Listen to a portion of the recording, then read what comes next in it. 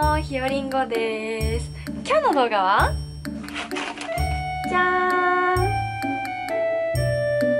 セブンイレブン限定。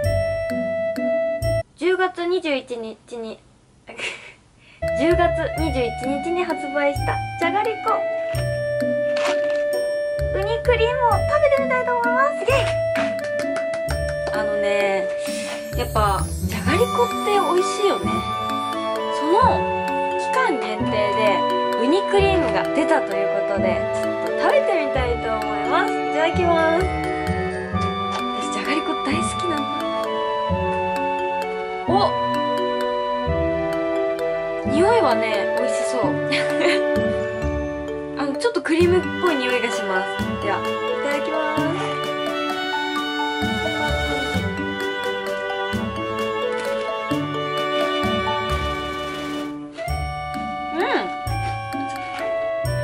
味しい。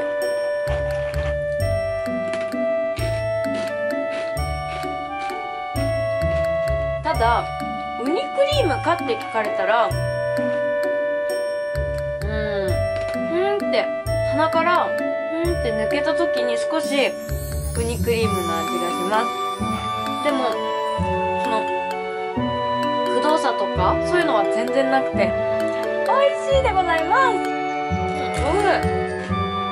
セブンイレブン限定なんだけど私デイリー山崎で買ったんだよね。おかしいな。セブンイレブンがあんまり近くにない人でも探してみたらもしかしたらあるかもしれないんですうん。おいしい。今日すっごい寒くない？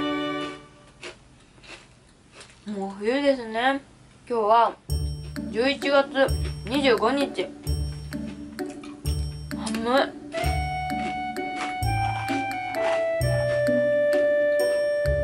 みんなは今日どんな一日だったのかな？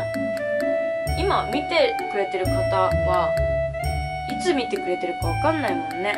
今見てくれてる方は何月何日ですか？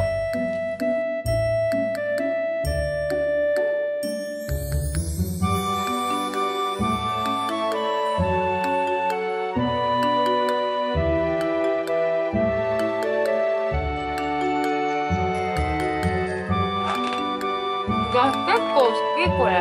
おいしい。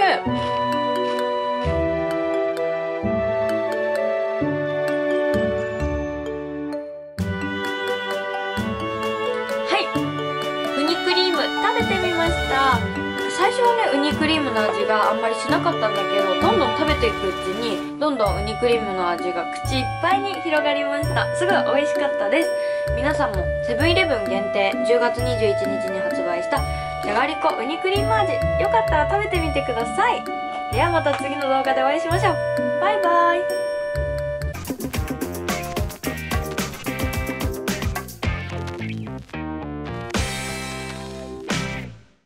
寒いから暖かくして寝てね。